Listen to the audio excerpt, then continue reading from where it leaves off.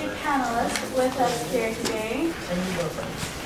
First, we have Sørina Higgins, who will be talking about handle, how to handle the Hallows, editing a 100-year-old play for the 21st century. She is a writer, English teacher, and Inkling scholar. She's not Danish nor related to Kierkegaard, but added a slashed O to her name to look more sexy.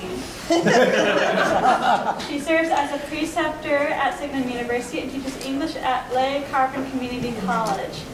She's working on two books about Charles William, an edition of his play, The Chapel of Thorn, with Apocryphile Press, and an academic collection entitled The Inklings and King Arthur.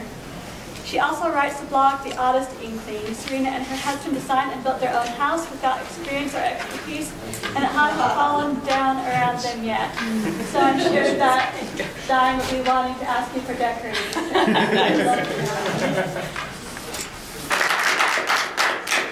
Good morning, thank you. It's so great to be here with all of you. I'm going to talk to you about how to handle the Hallows, editing a 100-year-old play for the 21st century. So here's the play um, The Chapel of the Thorn. It's for sale in the marketplace, so be sure to get a copy of this beautiful book.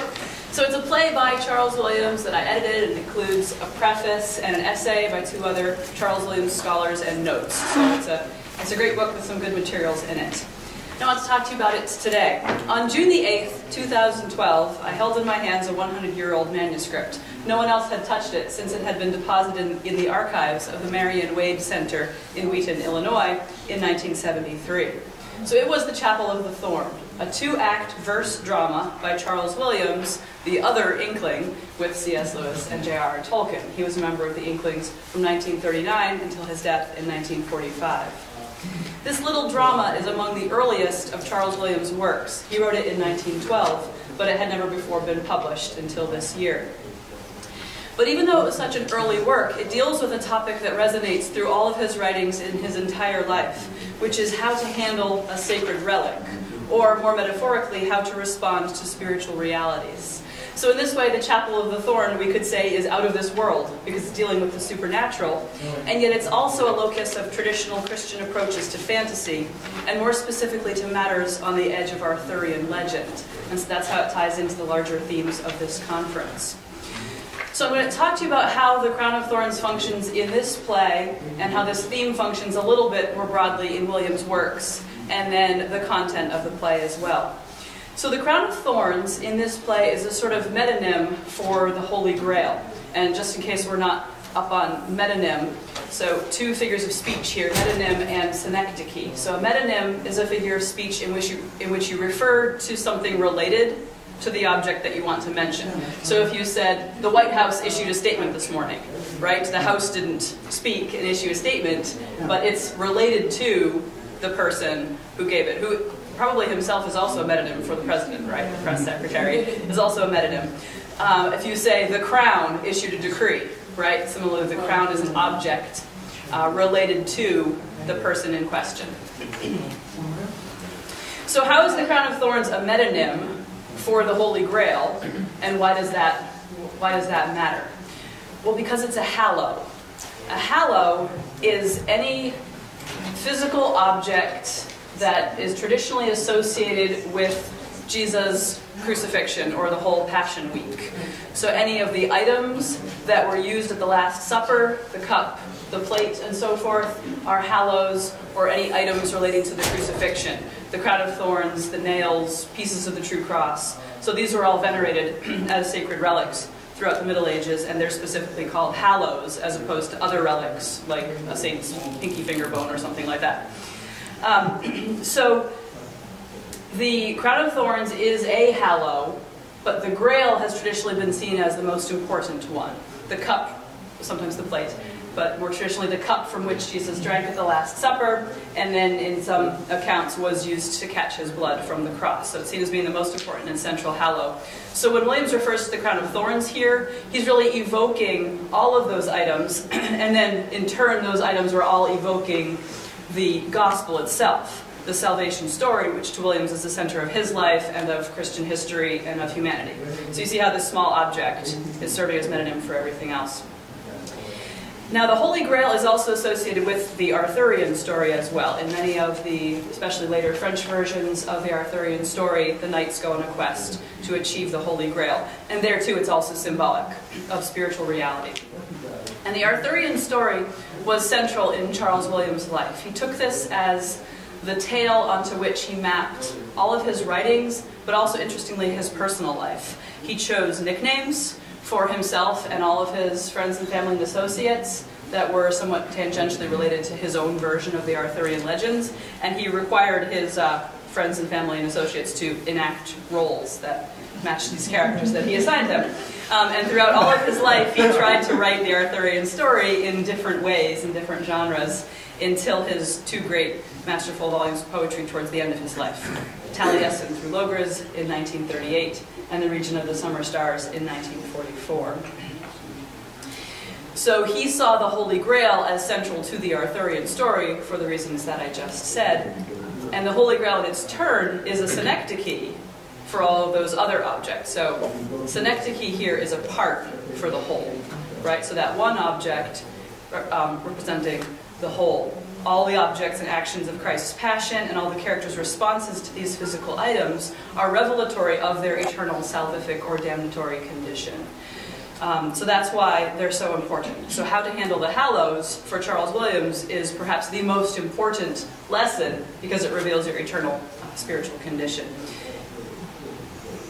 This is also related to his idea of putting yourself in service to your role and to the position that you've been given. In his late Arthurian cycle, there's a line when King Arthur has just been crowned and he's standing and looking out at his people and his castle and his kingdom. And the question is asked in the poem, the kingdom for the king or the king for the kingdom? So you see what he's asking there. Which one is going to serve the other? Is Arthur going to use everything he's gained to serve himself? Or is he going to subordinate himself to his role and serve the kingdom? And unfortunately, he chooses that the kingdom will serve him, and that's one of many sins. That's the downfall of the kingdom. So th that's the uh, larger background in which this play uh, participates.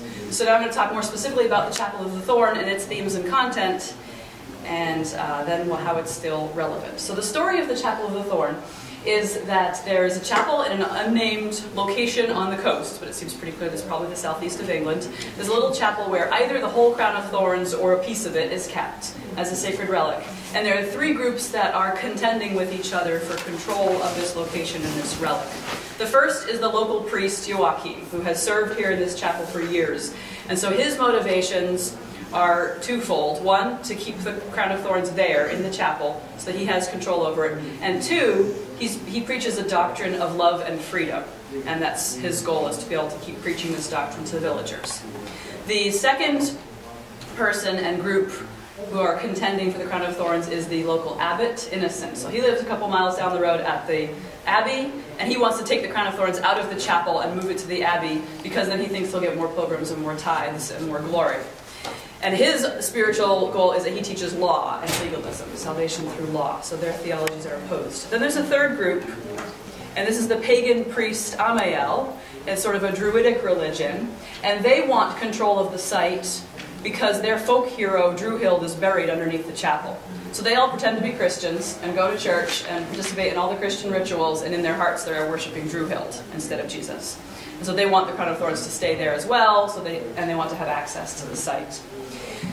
As often happens in Charles Williams' dramas, it's a metaphysical drama. It's a spiritual conflict. So there's not a whole lot of what you would consider external action, um, but it's still very vivid and very lively. The characters' motivations are very clear, and there's a lot of conflict among them. And there's also a startlingly, startlingly strong sympathy for the non-Christian perspective throughout this drama for an Anglican writer those three who are contending seem to be very equally balanced throughout the play. And as a matter of fact, the pagan priest is given the most beautiful poetry. The play ends with a threefold anthem in which the priests are chanting Christian texts in Latin, and Amael the villagers are singing a ballad and a folk song about Druhild.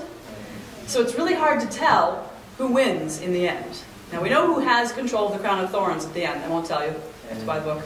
Um, but we don't know. We don't know where the sympathies of the play lie. We don't know where Charles Williams' sympathies lie and where the audience's sympathies are supposed to lie. A director could choose to stage it in such a way that that were clear, perhaps by having one song continue longer than the others, so that one song had the last word, or by the physical setup. But then there's also one character, an unnamed woman, the only female character in the play, who gets just about a half a dozen of lines. And she gets the actual last line of the play, in which she prays to the Virgin Mary to thank her for healing her son of an illness. So that's the actual last line. So it might seem perhaps she gets the last word of the play, but we don't know whether the other characters are still singing. Is the pagan folk song still going on? Um, so it's the overwhelming sense of the ending is indeterminate, that nobody wins or everybody wins. So we don't know whether Williams is advocating unfettered freedom, or paganism, or legalism, or one character chooses to withdraw from the world and become a hermit. The text does not allow any of these interpretations, or rather, it allows all of them simultaneously in a kind of indeterminate pluralism. Okay, but there's another question then. Is it any good? this early, you know, 1912 play. Williams didn't really come into his, uh, into his strength as a poet and a dramatist until the mid 30s. So, what about this early play? Is the poetry any good? Is it good drama? Could it be performed? And I'm happy to, to report to you that the answer is yes. On March 17th, 2014, St. Patrick's Day, eight members of my local artists um, and writers fellowship gathered and we read the entire play out loud. Each person took one of the major characters and some of the small roles, and we read it in a semi-staged fashion. We made an audio recording of it, and it's really good. Uh, the poetry is beautiful. So even purely as lyric poetry, it has value there. But the characters are very engaging, and they have emotional depth, and there is real conflict, and compelling drama, and an exciting narrative arc. And um, most of the members of this group were also members of a local theater company, and the director of the theater company was there, and she said she could imagine mounting a production of this at some point. Right now she works with teenagers and kids, so maybe maybe not now. Um, but she could imagine it being performed. It also requires only a small cast, minimal sets, and limited technical magic, so it could be a practical choice for a small theater to perform. So if you know anybody has a small theater who would be interested in mounting a production of this, let me know. We can work with the estate.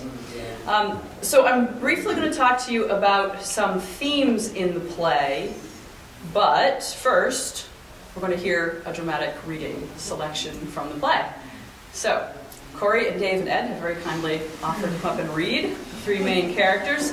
This, this is an imaginary selection. I've cut and pasted some like favorite bits. So this exact series does not occur anywhere in the play.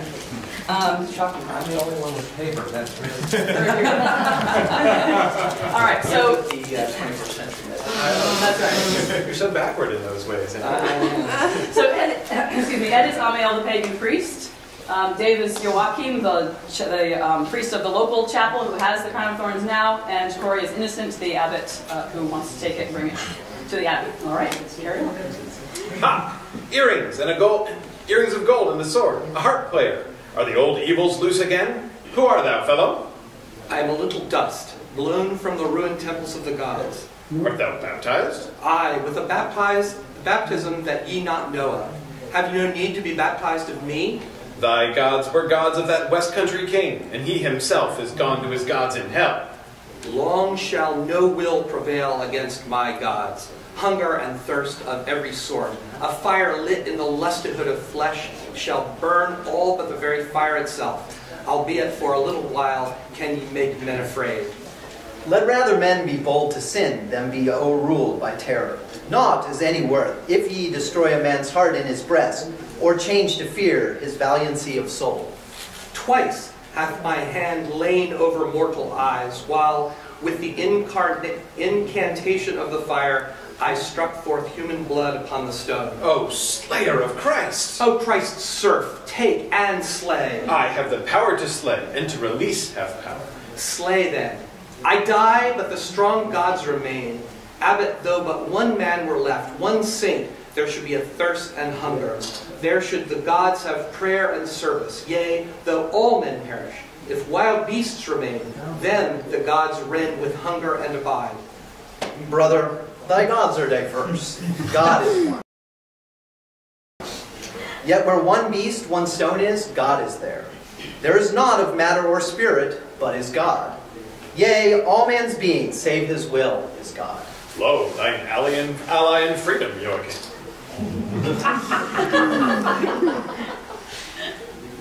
That's me. I knew when I blessed the cup once that I held tossing within the rim of within the circle of the rim, in a vision of sound, all sounds that ever were.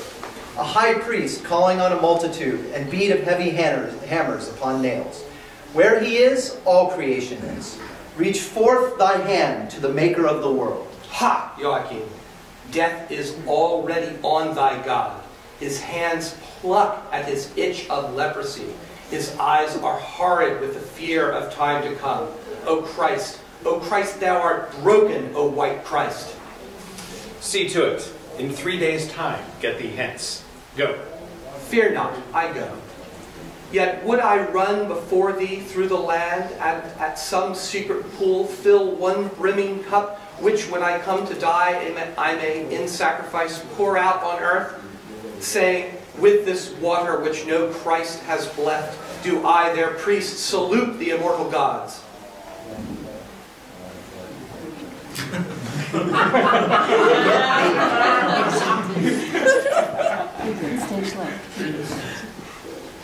Set out thine accusation. Stand and speak. What sayest thou of me, thou Joachim? That thou hast found in traffic through the world, the riches of Christ's blood are vendable. Religion hast thou made a fair for kings. Wilt thou that each man should form an aim or creed, a doctrine and a law? Is not each man a new world before God? Which in the will and strength of God, the law toward others hath control and is controlled. Man shall never find, except through his own strength of love. Nay, by law only shall men find out love. Thy church is but in censers, altar lights. And then it continues on the next page. the perils of technology. Coming and going from confessionals. How should I yield the thorn up to such thought? Who have beheld the holy bride, the church, caught to her mystic marriage through the world, wed to her lover in all mortal things? This is the church. This is salvation. This. And will ye make it sure to men by law? Blessed thy soul is that hath seen these things. Yet I too have borne much penance, fasted long, seen visions and dreamed dreams. And how should these things be except by law? Save a man's will be gained, his life is naught. Nay, by life only shall a man's will learn, in which cause therefore I demand again, will thou yield up to me this crown of thorn? No. Thou hast mine answer, do thy will. There goes a greater man than we. Rebel he is, and heretic perchance. Yet Joachim with all the saints may climb high paths, and breathe the chill air of supernal thought. But we hold the bad, unrestful heart of common men. Therefore, the greater shall be overthrown, and the lesser men shall conquer. Even I.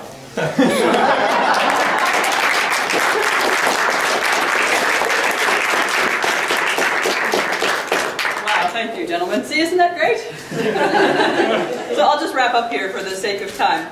Um, so throughout the play, the crown of thorns is the catalyst that reveals the spiritual condition of each of these characters and of all the minor ones as well. It works kind of like the crime in a murder mystery, right? A murder is committed, and really the point of the story is that the way people respond to the crime reveals who they really are and what they're really like. And there's also there's one moment in the play when this becomes very very clear. King Constantine appears, and if you want to know whether he's the historical Constantine, read my introduction. Um, he says, after he has uh, done what he thought was right in regard to the crown of thorns, he says, "I shall be boasted over all kings, because I have set Christ above all gods." So you see what he's done there in that quote? I've done this great thing for Christ, and therefore I will be honored. So he's using Christ as a means to his own um, ambition and worldly advancement. And in William's mind, this is uh, the worst possible sin, using sacred items and obviously using Jesus himself as sort of a rung on a ladder for your worldly ambitions. And the play is startlingly relevant for our times and has ongoing relevance because it's also full of arguments about just war, about whether it's right to use physical force and violence to preserve the sacred hallow, and also about sacred and secular political power, about fundamentalism and radicalism and using these um, as political powers. So that sounds startlingly relevant. So really what I'm doing today is I'm just making an argument for a reading of the Inklings in the 21st century, even including some of their overlooked works. Thank you very much.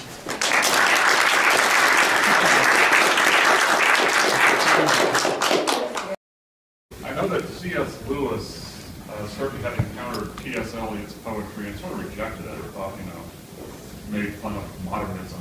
What was uh, Williams' reaction to some of this modern poetry going on? I know he's very much a traditionalist or dealing with very traditional themes, but Yeah, he has an interesting line. He wrote, um, "Better to be modern than minor," but he himself was quite minor and never very modern. Um, most of his literary criticism, as a matter of fact, seems to read like advice to himself, a lot of which he didn't take. Per- personally, he was much better friends with Eliot Yeah. than Lewis. He, he considered um, Eliot one of the people who understood him best. Um, and he wrote a couple works of literary criticism about contemporary poetry. And he has a chapter on Eliot in um, English Poetic Mind. I'm not sure that's the right title. If it comes to me, I'll correct myself. There's a chapter about Eliot, and in the introduction he says, My apologies to Mr. Eliot, whose poetry I greatly admire but do not understand. oh, and one other connection, they each wrote one of the plays for the Canterbury Festival, back to back, one year before the other. Um, what would be a good starting point for someone becoming familiar with Charles Williams? On my blog, The Oddest Inkling, I have a post called The Reader's Guide for Beginners. so check that out. But it, it depends what genre you would like to read first, because like the other Inklings, he was very prolific in many genres, poetry, plays, novels, literary criticism, um, theology. But if, if, like me, and like many readers, you want to start with the novels, he has seven novels, and I would recommend starting with probably War in Heaven. It's the one that has something most resembling a plot. I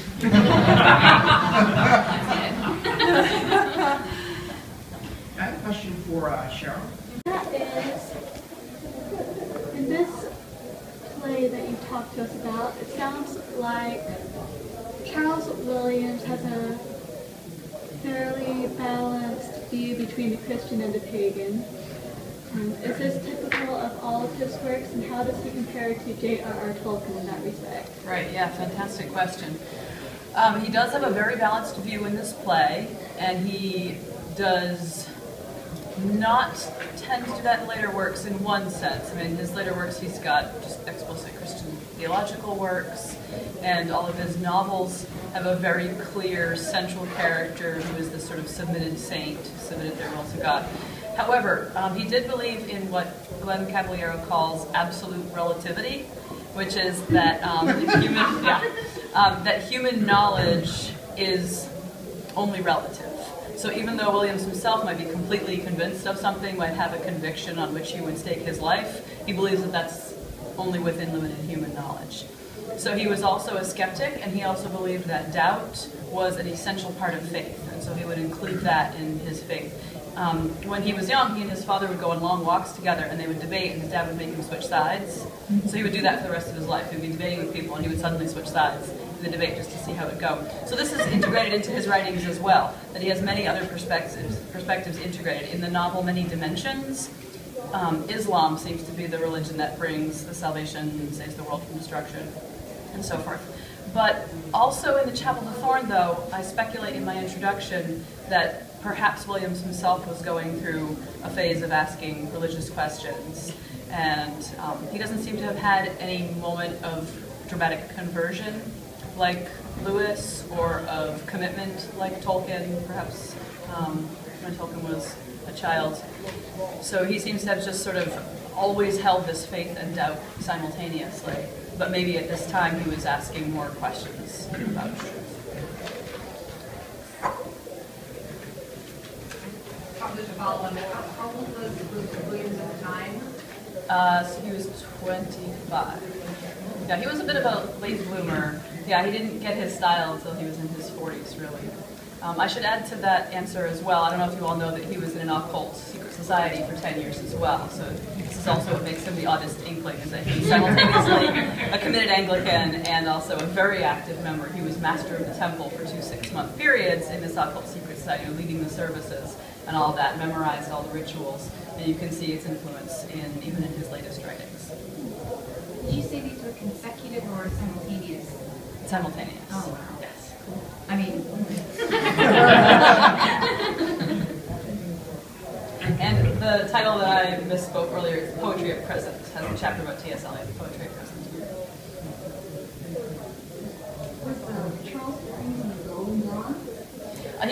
Offshoot of the Golden Dawn. A.E. Waite was um, in the Golden Dawn and broke off and started the Fellowship of the Rosy Cross. So that's what he was in.